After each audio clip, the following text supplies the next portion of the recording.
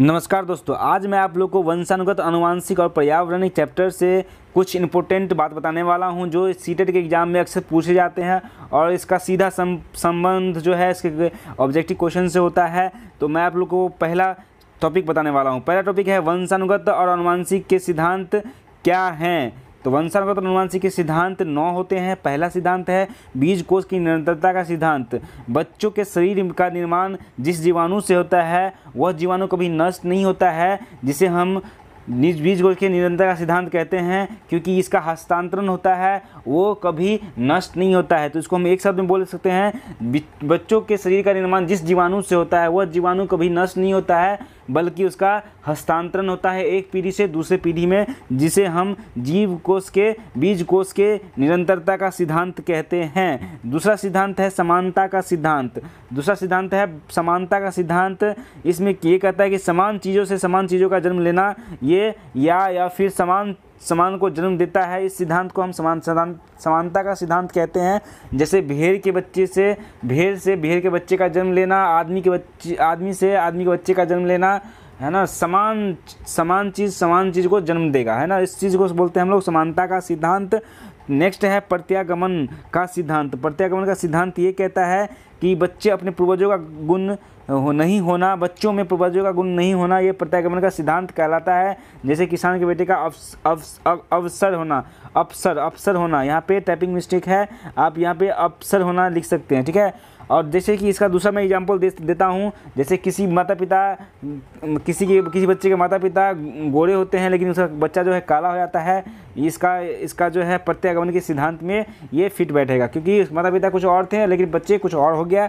इसका मतलब विपरीत हो गया। प्रत्यागमन का होता था कि उल्टा दिशा में विपरीत दिशा में। और नेक्स्ट है नेक्स्ट है आपको जीव सांख्यिकी का सिद्धांत। जीव सांख्यिकी का सिद्धांत ये कहता है कि बच्चों में अपने माता पिता के गुण का होना आवश्यक नहीं है, क्योंकि उस बच्चे में अपने पिता और अन्य सोलह पीढ़ियों का गुण उसमें समाहित हो सकता है, उसे हम जीव सांख्यिकी का नियम कहते हैं। ये सोलह पीढ़ी तक का जो है बच्चों का, बच्चों में गुण आ सकता है। जिसको बोलते हैं जीव सांख्यिकी का नियम। अब देखिए, गुण का हस्तांतरण सोलह पीढ़ियों से आ सकता है। इसका एक रेशियो होता है कि वन बाई टू अपने माता पिता से आएगा वन बाई फोर आपके दादा दादी से आ सकता है वन बाई एट उसके पिछले पीढ़ी से आ सकता है। ऐसे करके वो एक्सपोनेंशियली ग्रोथ होता जाएगा और उस रेशियो में वो बढ़ता जाएगा सोलह पीढ़ी तक। यानी कि one by eight one by sixteen one by sixty four ऐसे करके जो है पीढ़ी पीढ़ी जो है, वो गुण समाहित होते जाता है अपने बच्चों में, है ना नेक्स्ट पीढ़ी में। तो ये इसका रेशियो है नेक्स्ट है अर्जित गुणों के अवितरण का सिद्धांत। जन्म के बाद कोई भी माता पिता अपने अर्जित गुणों की, गुणों को हस्तांतरित नहीं कर सकते हैं, उसे हम अवितरण कहते हैं अर्जित गुणों का अवितरण।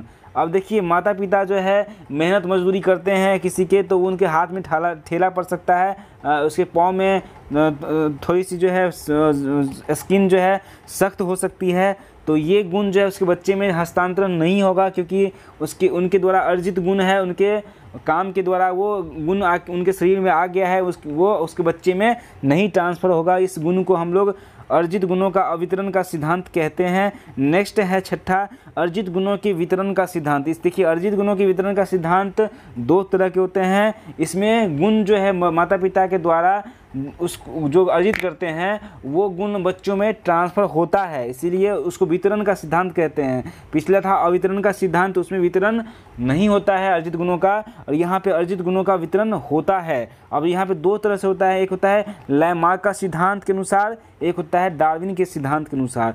तो पहला सिद्धांत होता है लैमार्क का सिद्धांत उसको डिस्कस करने वाले हैं हम लोग, जिराफ की गर्दन लंबी पहले नहीं हुआ करती थी, लेकिन भोजन करने के लिए या सॉफ्ट पत्ता खाने के लिए जिराफ जो है कोमल कोमल टहनियों में से, यानी कि जो सबसे ऊँची ऊँची पेड़ की पत्तियाँ थी, उसको चुन चुन के वो खाना स्टार्ट किया तो वो उसका गर्दन जो है वो ऊँचा हो गया। यही गुण उसके बच्चों में संक्रमण पाया गया, वही गुण उसके बच्चों में ट्रांसफ़र हो गया, जिसे हम लैमार्क का सिद्धांत के नाम से जानते हैं, ठीक है? इस तरह के सिद्धांत को हम लैमार्क का सिद्धांत कहते हैं, जैसे जिराफ की जिराफ का गर्दन पूर्व में लंबा नहीं हुआ करता था, लेकिन जो है वो इन्वायरमेंटल के कारण, उसके लक्षण के कारण कि वो हमेशा लंबी टहनियों से पत्ती तोड़ के खाया करते थे तो उसका गर्दन धीरे धीरे बड़ा होता गया और यही गुण उसके बच्चों में ट्रांसफ़र हो गया। तो वो अर्जित गुण था, लेकिन वो अगले अगले पीढ़ी में वो ट्रांसफ़र हो गया। ये अर्जित गुण ट्रांसफ़र हो गया, इसलिए इसको अर्जित गुणों का जो है वितरण का सिद्धांत मानेंगे। पहला सिद्धांत लैमार्क का मैंने बता दिया आपको। नेक्स्ट है डार्विन का सिद्धांत। डार्विन का सिद्धांत ये होता है कि अर्जित गुणों का संक्रमण हो जाता है। जैसे मलावट वाला गुण और चोरी वाला गुण, परिश्रम वाला गुण और ये पढ़ाई वाला गुण। ये है गुण। गुण जो है मतलब थोड़ा सा ये एक तरह से काल्पनिक चीज़ें होगी, जैसे ये दिखता नहीं है। लेकिन लैमार्क में जो चीज़ होता है फिजिकली दिखता है। इसमें गुण वाला आ गया। तो इसको हम इसको हम डिफ्रेंशिएट कर सकते हैं कि डार्विन का सिद्धांत में भी ट्रांसफ़र होता है, लेकिन इसमें गुण का ट्रांसफ़र होता है। और लैमार्क में जो है, उसमें जो है फिजिकली चेंज जो आता है, वो फ़िज़िकल चेंज भी उसके बच्चों में या कि उसके नेक्स्ट पीढ़ी में ट्रांसफ़र हो जाता है। इसको बोलते हैं लैमार्क के वितरण का सिद्धांत और डार्विन के वितरण का सिद्धांत। दोनों अलग अलग मैंने बता दिया आपको कि क्या डिफरेंस होता है। लैमार्क में फिजिकली होता है, डार्विन में गुणों का होता है। नेक्स्ट है भिन्नता का सिद्धांत। भिन्नता का सिद्धांत ये कहता है कि एक ही माता पिता के दो संतान भी एक तरह के नहीं हो सकते हैं, वो अलग अलग ही होंगे, चाहे वो जुड़वा ही क्यों ना हो। आप देख सकते हैं हमारे आसपास में किसी के जुड़वा भाई बहन होते हैं, वो अलग अलग होते हैं ना? उसका मुँह मुँह कान हल्का सा मिल भी जाएगा, लेकिन उसका अलग अलग जो विकास का एस्पेक्ट है, वो अलग अलग होता है, इसका रेट भी हो सकता है अलग अलग उसका आई पावर भी अलग अलग हो सकता है। तो ये सिद्धांत हमारे जो है अनुवांशिक और वंशानुगत के सिद्धांत हो गए। ये मेन सात होता है और एक के दो होते हैं। तो टोटल मिला के हमारे पास नौ सिद्धांत हो गए। पहला हो गया बीज कोष के निरंतरता का सिद्धांत। वो बीज कोष जो है कभी मरता नहीं है, वो ट्रांसफ़र होता रहता है। नेक्स्ट है समानता का सिद्धांत। समानता का सिद्धांत ये कहता है कि समान जीव समान तरह के बच्चे को जन्म देगा। नेक्स्ट है प्रत्यागमन का सिद्धांत। प्रत्यागमन का सिद्धांत ये कहता है कि किसी का माता पिता अगर गोरा है तो बच्चा काला भी हो सकता है, यानी कि उसके माता पिता के गुणों के विपरीत भी जा सकता है, इसे प्रत्यागमन का सिद्धांत कहते हैं। इसका मतलब होता है उल्टा दिशा में, यानी कि विपरीत दिशा में। नेक्स्ट है जीव सांख्यिक का सिद्धांत। जीव सांख्यिक का सिद्धांत ये कहता है कि बच्चों में अपने माता पिता का गुण आता ही है, लेकिन उसके सोलह पीढ़ी तक का भी आ सकता है, उसका रिस्पेक्ट एस्पेक्ट रेशियो होता है one by two one by four one by eight माता पिता दादा दादी उसके बाद जो है नेक्स्ट अन्य पीढ़ी जो है पीछे, वो इस तरह के रेशियो में आता रहेगा गुण। नेक्स्ट है अर्जित गुणों का अवितरण का सिद्धांत। अर्जित गुणों के अवितरण का सिद्धांत ये कहता है कि माता पिता द्वारा जो अर्जित गुण होता है उसके लाइफ टाइम में, उसके जीवन काल में, वह गुण जो है बच्चों में ट्रांसफ़र नहीं होगा। उसे अर्जित गुणों के अवितरण का सिद्धांत कहते हैं। जैसे कि माता पिता परिश्रम करके उनके हाथ में अगर ठेला पड़ जाता है, उनके पैर में छाले पड़ जाते हैं तो ये गुण उसके बच्चों में ट्रांसफ़र नहीं होगा, यानी कि अवितरण होगा। अवितरण मतलब वितरण नहीं होगा, है ना?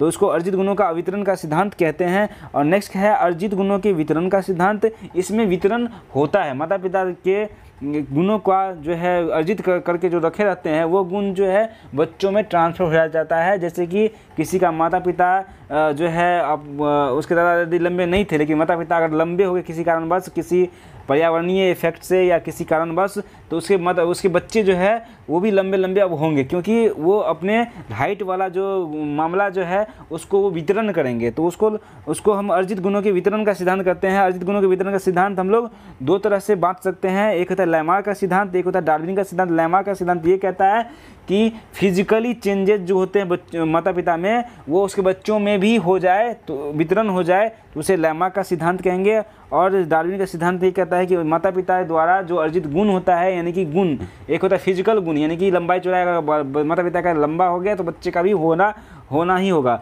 और उसको बोलते हैं लैमा के सिद्धांत और फ़िज़िकल गुण ट्रांसफ़र हुआ।